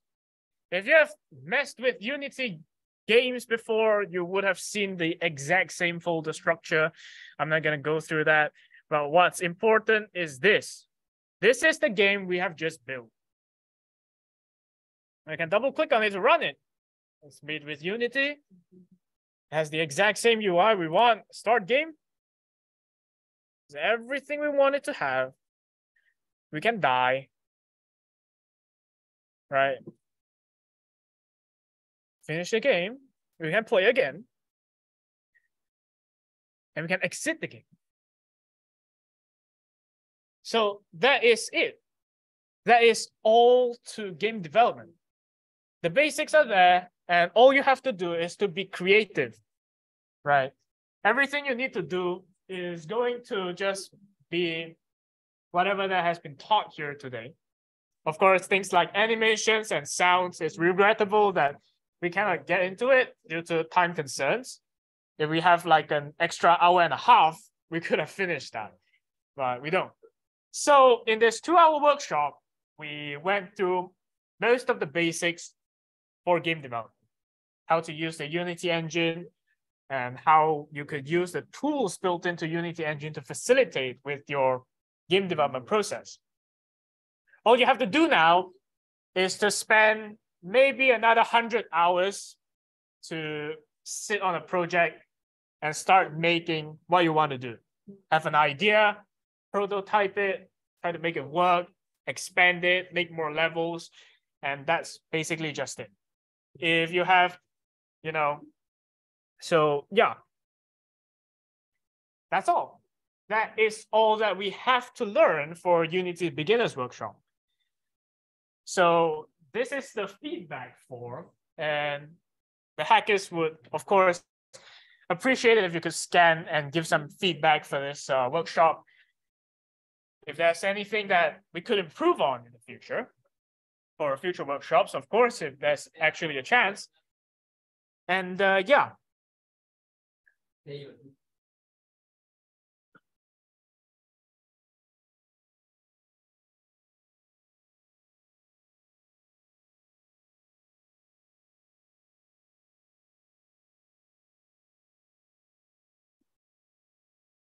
So uh, yeah, the feedback form is over there. See the QR code for it. Uh, if you would like to learn more about game development, feel free to join our Discord or Telegram group, uh, NUSGDG. We also have uh, sessions every week. So this week we also have a session, but this week's session is a game night. So we're just going go there and play Gartic Phone and uh Pada Trivia Party. So if you want to come also can. But yeah, if you want to join a group of game developers and share the community of game Yeah. developers, uh, do take a look at NUSD. Do you want to share your link or Telegram? or- Oh, links. a link? I Uh, have a link. we do, but um, you show the Discord. Go to your Discord then. Yeah. So uh, if you go to NUSync, you should be able to find NUS Games Development Group, and then uh, you should can join Discord here. So uh, what we have is we have um to share a little bit more about CCA. Uh, during sem one will be catered towards beginners, and because this semester this year was the first time we our club was so active, so next year I'm also doing an advanced game development workshop during sem one. Sem two, uh, the second half of sem two, uh, the second half of sem one will be um you breaking out into different groups and creating your own game for the rest of the semester. And sem two will be more on intricate development stuff. So that's like state machines, um, the different stuff that makes a game function. So yeah, if you're interested in it, oh, there's also multiplayer workshop. Yeah. uh, so yeah, if you're interested in game development, please join our CCA. Yes, and I hope to see you there. I need to stop the recording. All right, yeah, you can stop the recording. Okay, hi guys.